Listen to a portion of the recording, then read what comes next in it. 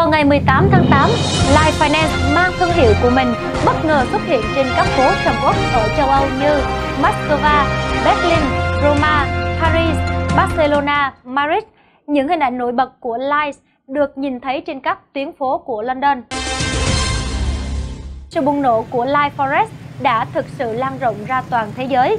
Liên tục những quảng cáo nổi bật được đặt tại một số tuyến phố sầm uất của châu Âu. Từ Nam ra Bắc, Quảng Bình chính là địa điểm mà Life Forest lựa chọn tiếp tục nâng số lượng văn phòng tại Việt Nam lên cao. Tiếp sau đó, Life Finance tiếp tục mở rộng thêm văn phòng tại Hà Nội. Đây cũng là văn phòng thứ 16 của Life tại mảnh đất hình chữ S. Điều đó cho thấy sức hút của Life Forest đang nóng dần lên, tạo bùng nổ mạnh trên toàn thế giới. Life Forest đang là cái tên trở thành xu hướng trên khắp mọi miền, từ nông thôn tới thành thị.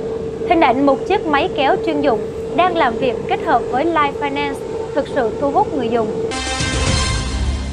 Những giải thưởng may mắn tìm đến các khách hàng may mắn. Những giải thưởng hấp dẫn và không kém phần giá trị liên tục tạo được trao tay đến người dùng trên toàn thế giới nhằm tri ân các khách hàng đã và đang đồng hành cùng Light. Xin được gửi lời chúc mừng chị Nguyễn Thị Hương và anh Phan Thế Hùng, đoạt giải IB may mắn tháng 7.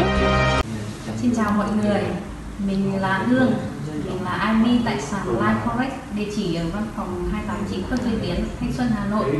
Mình thấy sàn Life Forex là một sàn giao dịch quốc tế khá là ok, có nhiều ứng dụng hỗ trợ, đội ngũ hỗ trợ chuyên nghiệp, nạp rút nhanh chóng, thanh khoản tốt, ờ, khớp lệnh nhanh và có giấy phép ờ, uh, sách lớn của châu Âu. Mình rất vui khi nhận được thông tin đạt giải IB xuất sắc tháng 7 mình uh, cũng xin gửi lời cảm ơn tới uh, sàn Live đã tạo được một sân chơi bổ ích cho mình cũng như các bạn IB khác. Uh, mình mong muốn là thời gian tới là mình sẽ hỗ trợ được rất nhiều nhà đầu tư đến với sàn Live uh, để nhận được những dịch vụ tốt nhất của sàn. Xin cảm ơn sàn Live Forex. Các bạn đã tham gia vào Live Forex chưa? Một sàn tương đối uy tín hiện giờ. Thứ nhất về phần BA quảng cáo thì sàn đã làm rất là rầm rộ. Thứ hai là vấn đề tiêu điểm. Đó là những cái hỗ trợ cho các broker, hỗ trợ cho các master. Thứ nhất là các giải thưởng, thi thố trên phương diện bình đẳng, minh bạch. Và vừa rồi mình cũng đạt được cái giải là 500 đô tiền thưởng. Tôi mong rằng các bạn sẽ tham gia vào live forex, một sàn uy tín hiện giờ được đánh giá của các trader Việt Nam. Xin chào. Thương hiệu tạo ra xu hướng không thể phủ nhận Live Forex đang là từ khóa chiếm spotlight rộng rãi trong giới cộng đồng Forex nói riêng và giới tài chính nói chung.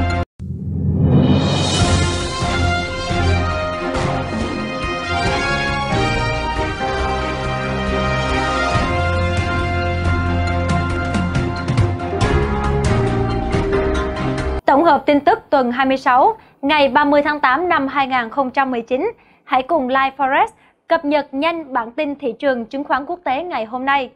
Những sự kiện nổi bật nào sẽ được nhắc đến trong tuần này? 1. Chiến tranh thương mại Mỹ-Trung tiếp tục là tâm điểm kinh tế chính trị trong tuần này. Và thứ Bảy tuần trước, Trung Quốc nói rằng họ đã phản đối mạnh mẽ việc Washington áp thêm thuế lên số lượng hàng hóa trị giá 550 tỷ USD nhập từ nước này và cảnh báo Mỹ sẽ phải nhận hậu quả nghiêm trọng nếu họ không chấm dứt các hành động sai trái. 2. Hội nghị thượng đỉnh G7 sẽ diễn ra ở Pháp từ ngày 24 đến ngày 26 tháng 8. 3. Và thứ năm, chính phủ Mỹ sẽ công bố dữ liệu về tăng trưởng kinh tế trong quý 2. Theo dự đoán, mức tăng trưởng này chỉ đạt 2.1% trong quý vừa rồi, giảm từ mức 3.1% so với hồi tháng 3 đầu năm. Nếu điều này đúng nó cho thấy mức giảm tốc khá lớn của nền kinh tế này. 4. Dữ liệu về lạm phát ở khối EU Kết quả cho cuộc khảo sát IFO về tình hình hoạt động kinh doanh ở Đức sẽ được công bố. Kết quả sẽ giúp giới phân tích đoán được xem liệu nền kinh tế Đức có đang rơi vào suy thoái trong quý 3 hay không. 5. Vào thứ Sáu, dữ liệu sơ bộ về lạm phát ở khối châu Âu sẽ được công bố và nó sẽ cho thấy hiệu mức lạm phát có đang ở mức thấp để Ngân hàng châu Âu đưa ra thêm các biện pháp kích cầu mới. 6. chính phủ Nhật Bản sẽ công bố các dữ liệu quan trọng, bao gồm tỷ lệ thất nghiệp cũng như doanh số bán lẻ hàng hóa. Theo dự đoán, tỷ lệ thất nghiệp ở nước này vẫn ở mức thấp là 2.3%, trong khi doanh số bán lẻ lại giảm mạnh, âm 0,6%.